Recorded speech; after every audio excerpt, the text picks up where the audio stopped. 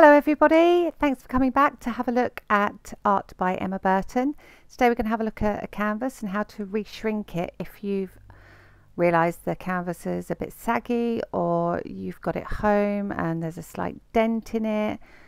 Um, obviously if you're doing acrylic pouring or even painting actually, the last thing you want is your paint to not sit nice and flat on the canvas as you can see by this one, this is really saggy. I've stretched it quite a bit, sticking my thumb through the back. See how floppy it is. Okay, so you've probably got an idea now of what I'm going to do. I'm over a sink. Please be ultra careful here.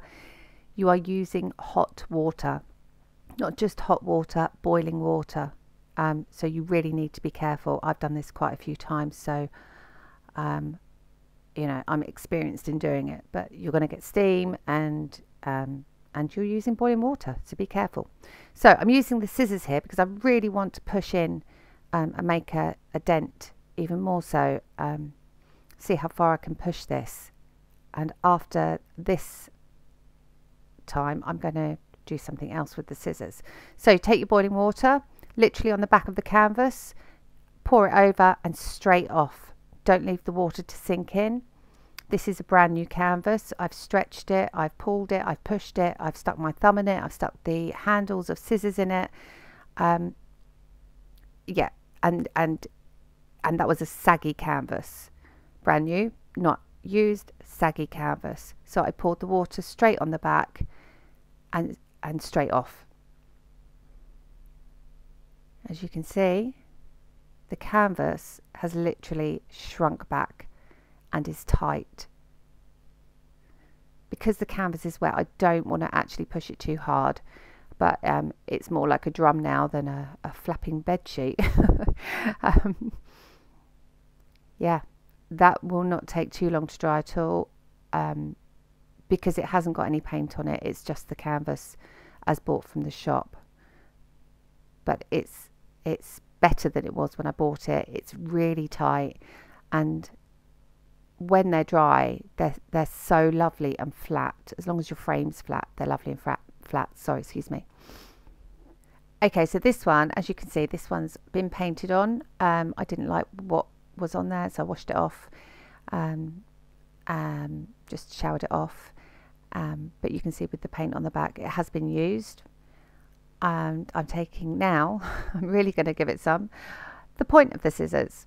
So I'm just going to almost score it, but I don't want to actually damage the, the canvas itself to make it irreparable. I want to push a really big dent in it, which I've done, as you can see. Now you can see on both sides, there is a line, a very clear line here. It's made the canvas stick up. Um, it's really pushed those threads apart. And it happens, you know, we're in the shop or we're putting everything in the car or in the cart or, you know, in the trolley or the basket. Grab your kettle, folks. Watch a bit of magic. Here we go. Over, straight on, tip it straight off. Now, I always try to cover the back of the canvas you know, turn it around maybe, make sure you get into those corners because then it will tighten the whole canvas, not just the area that's sagged. And now you'll be able to see when I turn it round. You are left with a mark. The mark will be painted over, but that's the mark. But actually the canvas itself has shrunk back. You don't have any more dents the canvas is nicely taut. Great for pouring, great for really thick, heavy paint. Um, it really gives a nice, substantial um, tightness to the canvas. I mean, you can see that's flat. That's, it's just, this is an amazing trick, amazing tip for you to use.